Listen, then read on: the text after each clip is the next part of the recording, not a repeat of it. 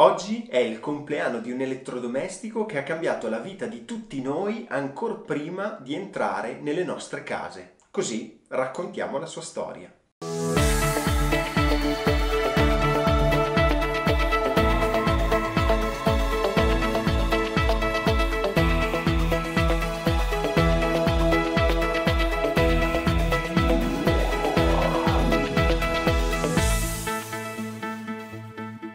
Quando parliamo di storia pensiamo ai grandi conquistatori, alle battaglie, insomma a qualcosa molto distante dalla nostra vita, dimenticandoci che invece la storia è molto vicino a noi, popola la nostra vita e nelle nostre case custodiamo oggetti che hanno segnato l'inizio di un'epoca. In questo caso sto parlando del frigorifero. La storia della tecnica è molto utile per capire come il progresso scientifico e l'aumento della conoscenza abbiano spesso generato percorsi applicativi tortuosi, come una determinata tecnologia abbia preso la forma odierna attraverso una serie di passaggi difficilmente immaginabili. L'idea di poter in qualche modo creare il freddo o quantomeno produrre il ghiaccio popolava già la seconda metà del Settecento.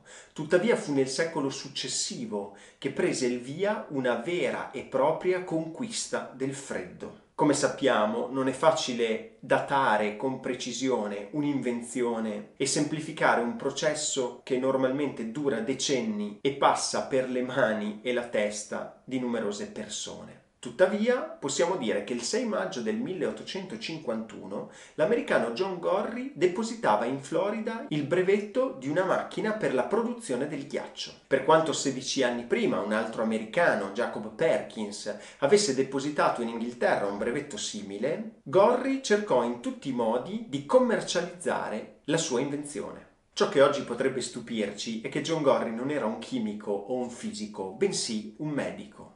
E perché mai un medico dovrebbe aver inventato il frigorifero? Perché la Florida, come molti altri luoghi a metà dell'Ottocento, sapeva essere molto inospitale. A causa del clima torrido e delle pianure paludose, era infestata dalla febbre gialla e dalla malaria. Gorry, che da anni combatteva strenuamente contro queste malattie, voleva creare un macchinario in grado di abbassare la temperatura dei suoi pazienti, in grado di salvarli dalla febbre e semmai capace di ridurre la circolazione delle zanzare. L'antenato del frigorifero era, perlomeno nella mente del suo creatore, uno strumento medico ad ogni modo, a causa dei numerosi difetti del macchinario e della strenua resistenza da parte dei commercianti di ghiaccio, che avrebbero perso definitivamente un lavoro redditizio, il progetto commerciale di Gorri fallì. Tuttavia, la corsa al freddo non accennò a rallentare, anzi, in ogni stato del vecchio continente vi erano studiosi pronti a migliorare il macchinario e ad utilizzarlo per soddisfare o addirittura creare nuovi bisogni.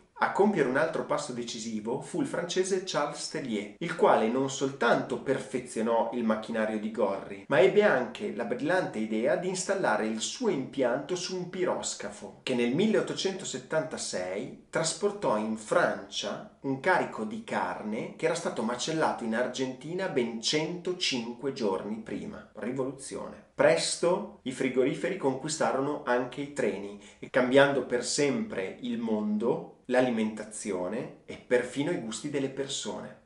Il superamento delle tecniche tradizionali di conservazione portò infatti in pochi anni a quella che fu definita una delocalizzazione del gusto, a una globalizzazione alimentare impensabile fino a pochi anni prima. Solo nel 1913 il frigorifero acquisì la forma domestica che tutti noi oggi conosciamo, mandando definitivamente in pensione le vecchie ghiacciaie e semplificando non poco la vita di tutti noi. Ma come abbiamo detto, ben prima di varcare la soglia delle nostre cucine, il frigorifero aveva già cambiato il mondo, portando con sé, come tutte le invenzioni, una serie innegabile di vantaggi, ma anche numerosi costi ecologici che oggi dobbiamo affrontare.